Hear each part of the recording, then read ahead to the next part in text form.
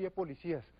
Mucho, es que yo me gasto dos segundos más, me hubieran pegado una acribillada a la berraca y después voy a recoger el carro y no, rodeado de tombos. Tocó hacerme el huevón y salir por el ladito.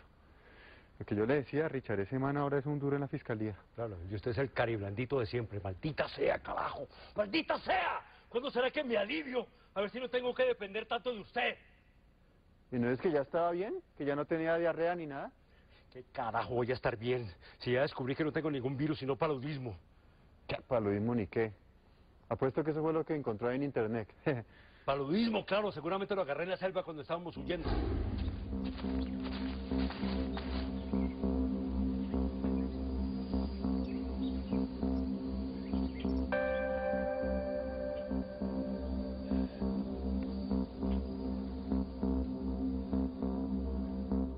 Por eso es que me siento como me siento y usted me viene con semejante noticia. Qué mediocridad es la suya, ¿no? Pues si está mamá de mi mediocridad, entonces ¿por qué no se va y se busca a la banda para que lo atienda? O para que le enseñe cómo es que se mata un tombo en medio de la fiscalía y lleno de tomos y sabe que coma mute, Richard. Seguramente la banda tiene más estrategia que usted.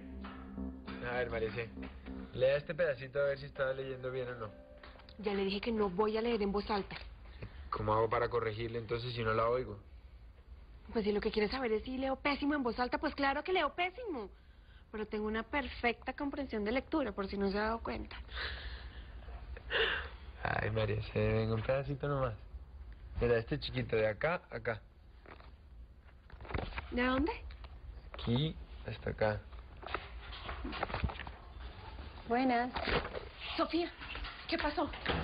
¿Averiguó algo a mi mamá? ¿Sabe algo? Tranquila, María Cecilia, ya entregué la foto, se la están mostrando a todas las personas a ver si alguien la reconoce, pero yo creo que las cosas van por buen camino, no se preocupe. ¿Qué hay, Luis? ¿Podemos hablar? Sí, claro, Listo, pero en privado subamos, ¿sí? como quiera. Permiso. Siga, Sofía. Siga, siga, siéntese. Bueno, ¿cuál es el misterio, Lorenza? ¿Qué es lo que pasa? Es que quiero preguntarle algo, pero quiero que sea muy honesta conmigo. ¿Puede? Claro que puedo, ¿qué quieres saber? Lo que yo quiero saber es exactamente usted de qué vive. ¿Cómo así que, que vivo? Sí, ¿de dónde saca la plata para todas sus cosas? Mm, de mi sueldo. La fiscalía me paga un sueldo por hacer este trabajo, ¿por qué? ¿Pero de qué más? ¿Una herencia? ¿Alguien le ayuda? no, ojalá. No, no, no, nadie me ayuda y además yo tengo que ayudar a mi mamá. ¿Por qué? ¿De verdad? ¿Y usted siempre ha sido así sola, independiente? Sí, podría decirse que sí. Ay, tan bacano. Vea, ¿y qué se siente? ¿Cómo así? Pues, no sé, lo normal, ¿no? Yo debo sentir lo mismo que siente la gente que hace lo que yo hago, trabajar. Pero es que usted es muy bonita. Si usted quisiera, no tendría por qué trabajar tanto. Usted siempre ha sido así. Así como. Pues así de juiciosa. No tiene por ahí un tinieblo que le pase al grito. Ay, Lorenza, no, no tengo. ¿Qué es lo que quieres saber exactamente? Dígame.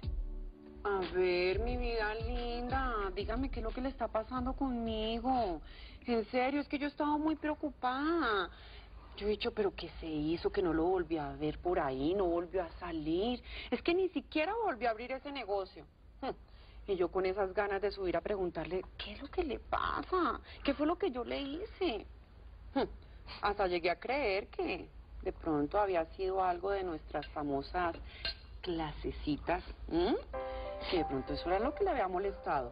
¿m? Dígame la verdad. Critica, ¿m? Dígame usted a mí la verdad. ¿A usted le parece que yo no valgo nada? ¿Que soy una cucaracha? ¿Que soy poco varonil? ¿Un poco protector? Es que, pues a mí me gustaría algún día hacer lo que usted hace. Trabajar y tener un sueldo y vivir de mi sueldo y no depender de nadie. Pero pues yo me pongo a pensar y como, ¿en qué voy a trabajar? A estas alturas, ¿qué, qué puedo hacer? Y, y lo que me paguen, ¿será que sí me alcanza? ¿Usted me está hablando en serio, Lorenza? ¿Usted lo que quiere es ser independiente, autosuficiente? Sí, ese es mi sueño. Mala idea que a No, estas no, alturas que a no. poder. Para nada, Lorenza, no. ¿Por qué piensa que no puede?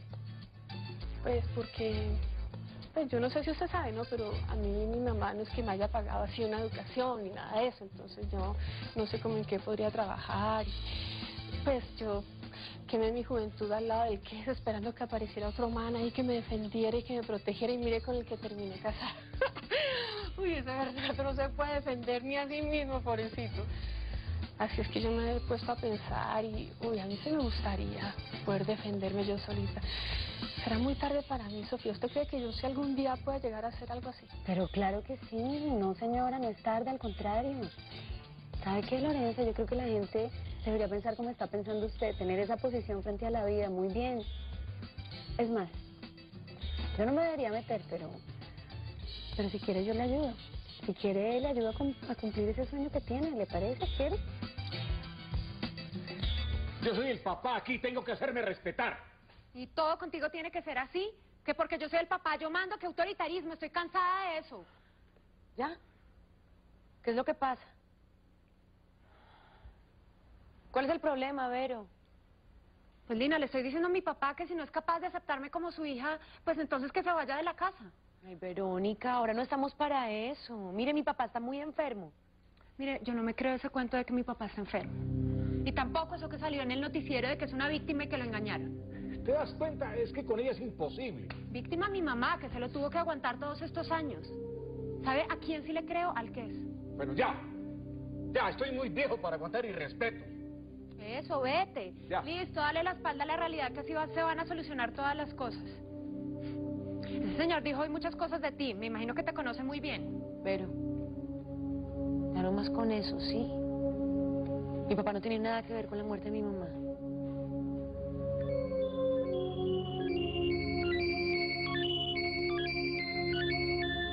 Hoy Moreno me dijo que le habían sacado de la investigación y habían puesto a Santiago. A mí me parece muy bien. ¿Sí? ¿Por qué? Lina, desde que mi mamá se murió, usted está bloqueada con eso de sus intuiciones. Y yo estoy sintiendo que Santiago sí va a meterse de lleno en eso de la investigación y pues por fin se va a hacer justicia con eso de mi mamá. A menos de que nos llevemos una sorpresa, ¿no? ¿Por qué me miras así? ¿Ah? ¿Qué es esa falta de respeto? ¿Te callas o aquí va a haber muerto? Eso no me cabe la menor duda. ¡Ya, te callas! Porque le da miedo que hable, le preocupa que diga la verdad.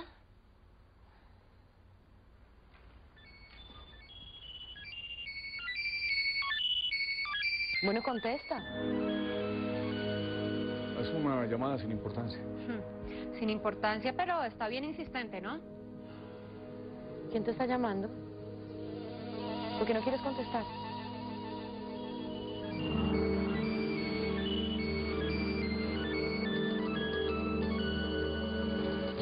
¿Qué? ¿No le contesta?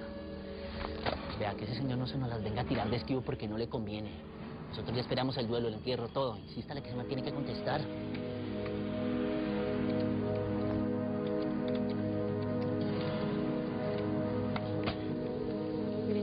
Hemos estado pasando por unos momentos horribles los tres y tenemos que superar esto porque no...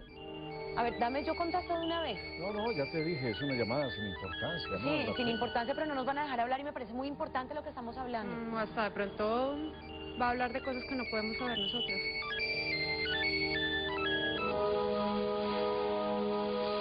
¿Aló? Don Rogelio, ¿cómo le va? ¿Cómo siguió de su pena tan honda? Sí, señor, mejorcito, gracias. Ah, bueno, cuánto me alegra, ¿no? Porque imagínese que tengo que comentarle algo. Por ahí estoy mirando acá los periódicos y siempre es que ha salido harta cosita suya, ¿no? Sí, eso he oído, claro, sí. Eh, imagínese quién se iba a, a imaginar que usted iba a terminar siendo una persona tan importante. Bueno, ya, ¿qué se le ofrece? No, nada. Simplemente quería recordarle que el trabajito que nos pidió le quedó muy bien hecho, ¿no? Entonces eh, nos parece que le cobramos como muy poquito. Mire, señora, a mí me da mucha pena informarle que lo que se trató, se trató y eso es. El paro no está para cucharas ahora. Ya, ya. No, pues imagínese que nosotros pensamos lo mismo. Pero viendo pues ahora cómo moja prensa y viendo sus noticias y toda esa vaina, pues nos dimos cuenta que usted es una persona importante y que no es tan pobre como vino a decirnos. Entonces, ¿le parece si le cobramos el doble? Bueno, primero, primero quiero decirle que, que no estoy de acuerdo con lo que me está diciendo. Y segundo, que yo estoy un poco mal de salud y no quiero hablar de negocios ahora. Sí, sí, sí, claro, muy delicada la vaina y todo, pero es que al burro no lo capan dos veces. Así que si usted no quiere problemas, lo esperamos mañana puntualito por la mañana con la platica, ¿me entiende? Sería muy harto, don Rogelio, que tuviéramos que salir a la calle a contarle a todo el mundo el detallazo que tuvo con su señora. Déjame ir. Aló, señor, disculpe interrumpirlo, la Lina Santana, la hija de Rogelio. Necesito pedirle un gran favor. Déjame hablar. Señor, mi papá está muy delicado de salud en este momento, está bajo tratamiento médico, le recomendaron mucho reposo y mucha tranquilidad. ¿Ustedes podrían posponer por unos días su negocio mientras él se recupera, por favor? Sí, claro, claro, yo la entiendo, pero, pero, pero, no, y entiendo la situación de su papá y toda la cosa, pero nosotros también tenemos problemas y el mundo tiene que seguir girando, ¿no? Señor, yo no sé si usted sabe, mi papá enviudó hace muy poco y él está pasando por un mal momento. Sí, sí, sí, sí, sí, claro, yo la entiendo, ¿no? Imagínese que yo ni conocía a mi mamá. ¿cómo le parece? Pero, pues es que mire, de todas maneras yo no la puedo ayudar, pero hágame un favor, de por Dios, ¿sí? Dígale a su papito que lo esperamos mañana puntualito aquí en la oficina con la platica, ¿no? Y si no, pues que con mucha pena pierde la garantía del trabajo, dígale así. Sí. No, no, no, tranquila, tranquila que si cambiamos de opinión nosotros la llamamos. Bueno, fue un placer, que esté muy bien, hasta luego, hasta luego.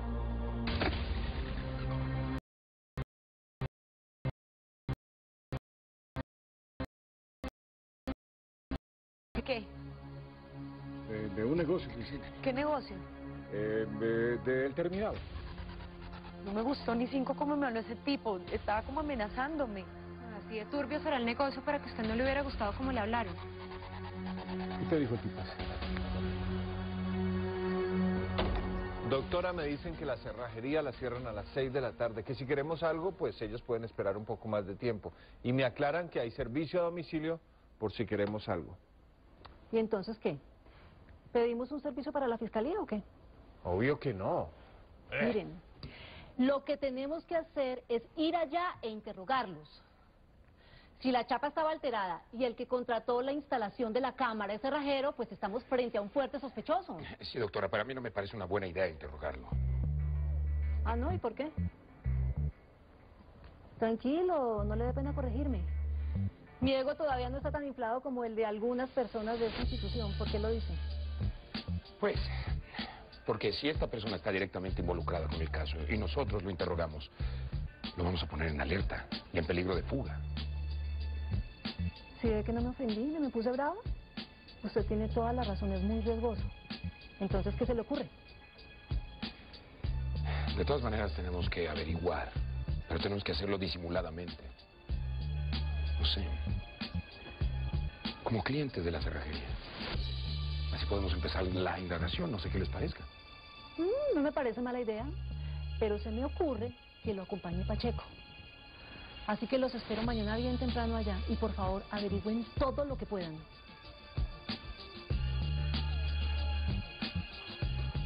Bueno, ya sé que no te gustó este tipo, pero son problemas que nos han quedado de la construcción del terminal y, y no he tenido tiempo de pararles bolas.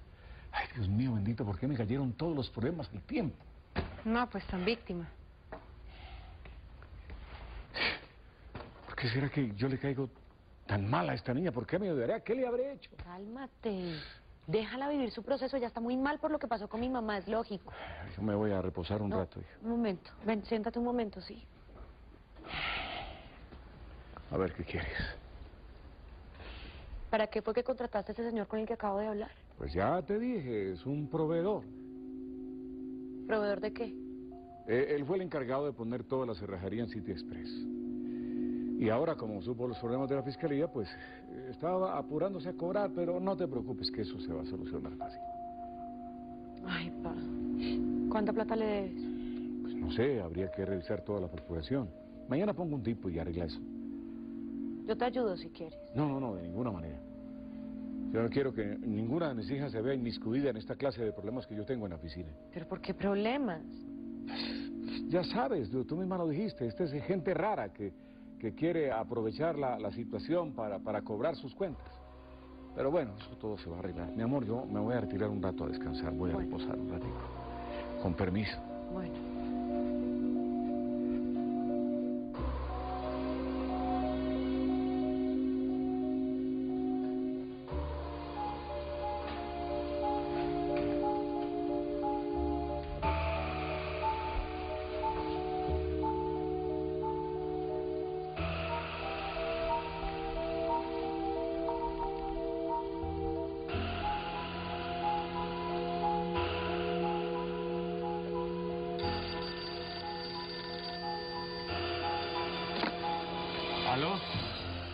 Señor, le estoy llamando de parte de, de Rogelio Santana.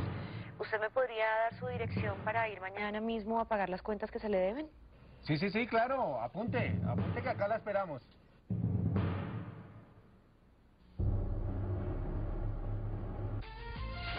¿Qué decir? Los protegidos. Ok, gracias. Doctora, me confirman que el número celular que nos dio el señor que instaló la cámara ya está intervenido. El de la cerrajería. Sí, doctora, ¿cuál otro? Perfecto. Eso nos puede ayudar para ver en qué andan esos, ¿no? Bueno, yo me voy. Así que los espero mañana muy temprano allá, ¿no? Yo veré. Claro que sí. ¿Qué prefiere, doctor Pacheco, que nos veamos aquí temprano o directamente en la cerrajería? Yo... eh, permítame un momento, yo hago un par de consultas con la doctora y ya, ya le digo, ¿vale? Bien, lo espero afuera.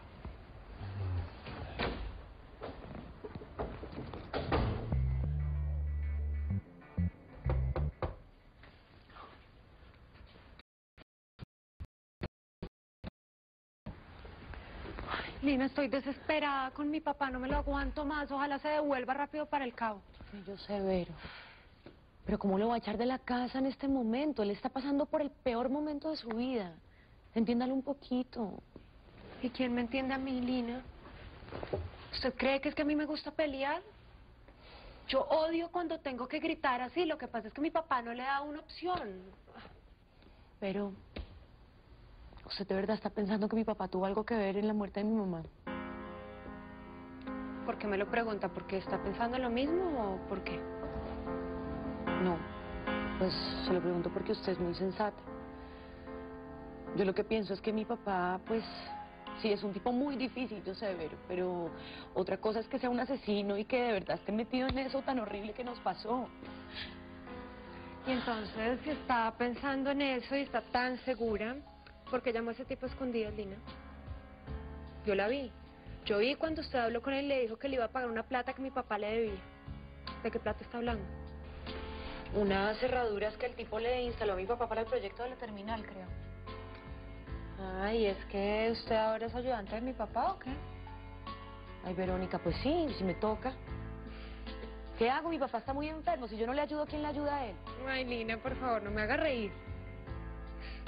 O sea, yo sé que si usted le pidió la dirección a ese tipo es porque lo quiere investigar.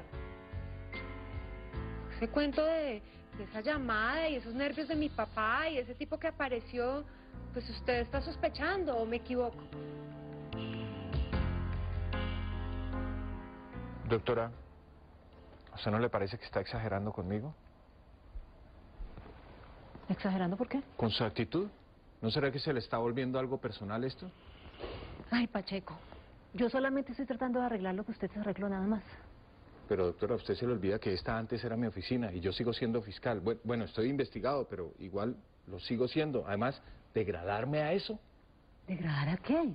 a tener que salir a trabajar a la calle con puerta, como si yo fuera un policía. Ah, se refiere a la investigación de campo. Tranquilo, yo misma lo puedo hacer, para mí no es ninguna humillación. Ese no es mi trabajo. No, yo pensé que su trabajo era resolver casos interesantes como este, por eso lo puse a trabajar con Santiago. Entienda, doctora, que yo no soy policía. Santiago tampoco. Mire, yo pensé que usted era un hombre experimentado que podía hacer bien este trabajo, pero si se siente humillado no hay ningún problema. Yo puedo contratar a un investigador judicial que lo haga. Pero tampoco se trata de eso, doctora. Yo, yo solo quería que no se le olvide que yo también soy fiscal todavía. No, no se me olvida. Y estoy segura que en cuanto termine la investigación usted retomará su cargo, pero por ahora, Pacheco, necesito que haga bien su trabajo, ¿me entendió? Sí, señora.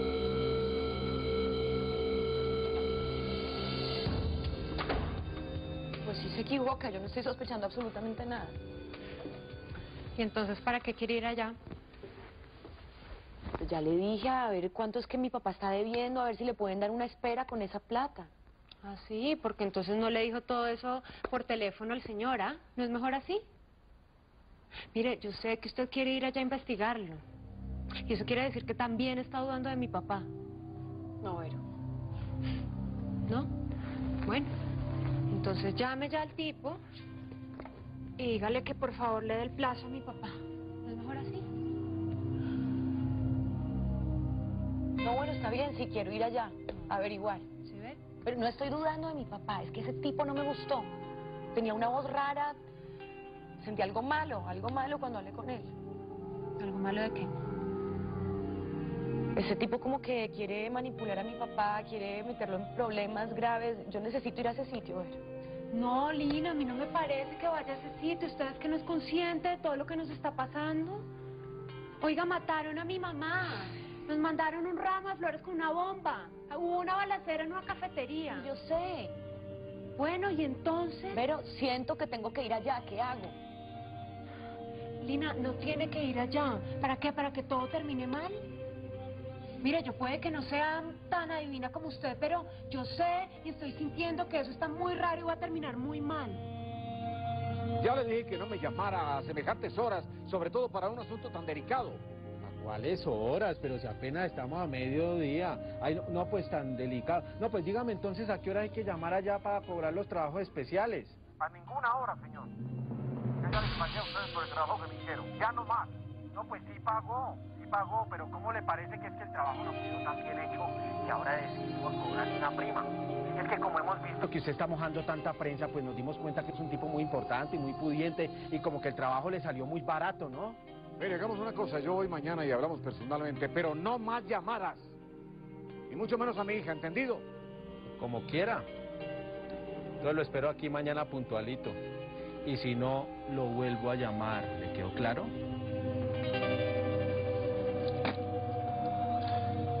Listo. Que el man pasa mañana por la mañana. ¿Y usted no le dijo que la hija también venía para acá? Ah, no, no, porque pues como el man me prohibió hablar de ella, pues que vengan, de pronto hasta terminan pagándonos el doble. Cinco años de carrera de derecho, tantos esfuerzos, tanta cosa, tanta vaina, para simplemente ir a averiguarle la vida a un cerrajero, esto es increíble. Sí, cinco años de derecho, más una especialización en criminalística y escena del crimen. Tener la oportunidad de trabajar para el fiscal general y acabar como policía. No, pero es que lo mío es muy diferente, porque son muchos años de experiencia laboral simplemente tirados a la basura, así nomás. Mire, Pacheco, yo creo que usted y yo tenemos dos posibilidades. O nos sentamos a llorar por todo lo que nos está pasando en la vida, o demostramos por qué usted merece otra vez su cargo y yo recuperar mi vida. Por eso es que le insisto en que le hagamos caso a la doctora Ventura y hagamos lo que ella nos está pidiendo. ¿Y? Me imagino que en todos esos años de experiencia usted ha conocido a muchos zampones, ¿cierto? ¿Sí? ¿Por qué? Porque yo creo que podemos inventarnos un par de personajes para ir a esa cerrajería y averiguar qué es lo que realmente está pasando. ¿Usted piensa que yo soy actor? No, hombre, yo soy fiscal de la nación. Yo lo sé, sé, créame. Por eso se lo estoy pidiendo a usted, porque yo creo que es una muy buena idea cranearse algo muy inteligente para que la doctora Ventura no empiece a tratar de una forma distinta como lo ha estado haciendo últimamente. Pues es más, es más, doctor. Yo estoy completamente dispuesto a acatar todas sus órdenes, sea usted quien dirige este operativo. Pues siendo así, no es mi campo, pero voy a ver qué se me ocurre. Y estoy seguro de que va a ser algo muy bueno. Pero una cosa, yo dirijo esto. Y que mañana usted no me salga con que me cambie las reglas, ¿ok? Ok.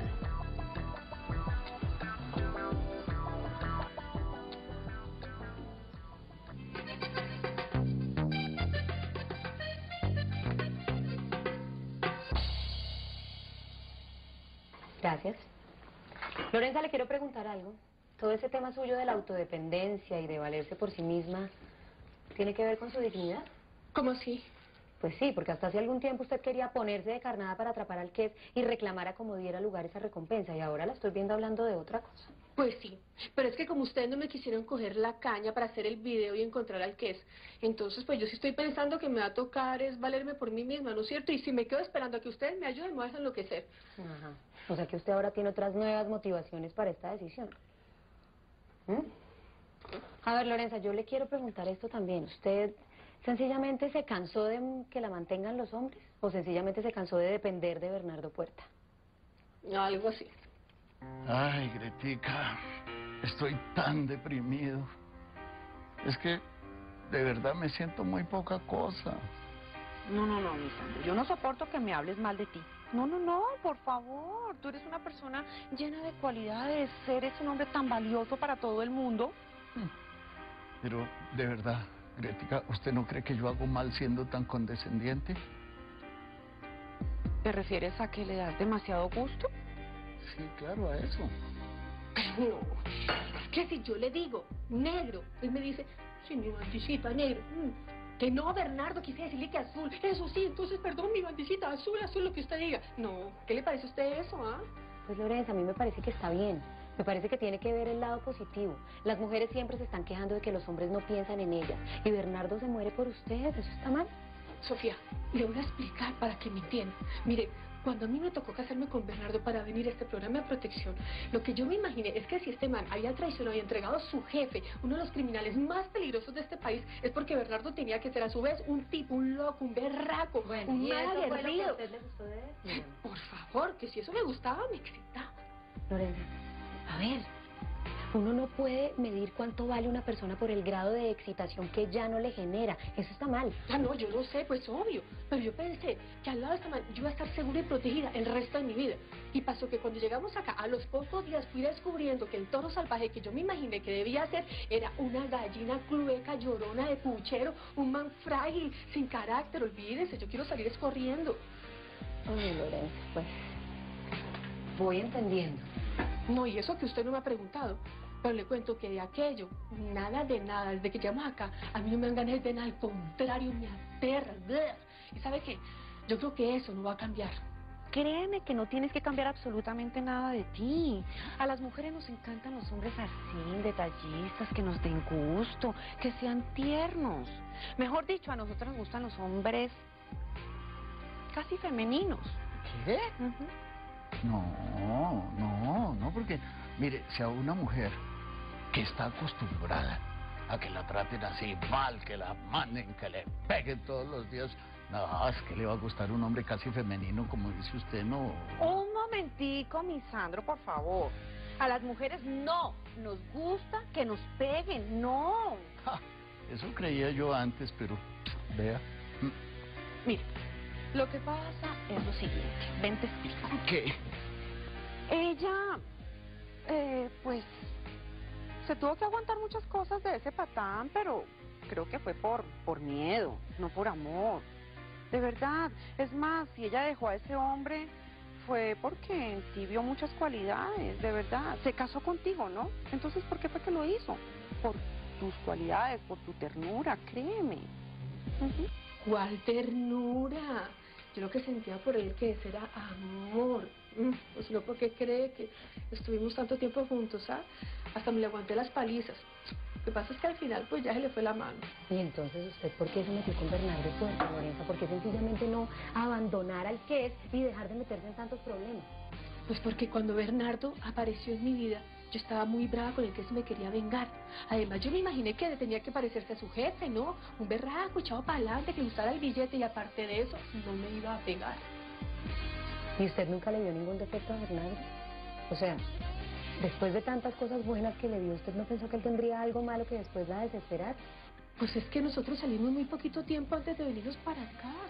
Yo qué efecto le iba a ver por ahí que cantaba desafinado y chistoso y ridículo, pero que va, pues no. Ahora lo que... No, no, es que jura que eso es lo más sexy que tiene. A ver, Lorenza, yo le estoy preguntando por defectos reales, cosas de la personalidad de Bernardo que a usted de pronto después no le gustaran. Pues no, en ese momento no le alcancé a descubrir ningún defecto. O sea que lo único que a usted no le gusta es que canta ridículo y que dice cosas chistosas. Sí. Mire, no me malinterprete, Sofía. Pero a mí al que me gustaban muchas cosas, como las serenatas, por ejemplo. Siempre llegaban con joyas, con anillos y con un revolcón delicioso. En cambio, con Bernardo todo es tan diferente, todas sus cositas son como tan distintas, él es como, como tan tierno, como tan melcuchudo, de puchero y todo, es como,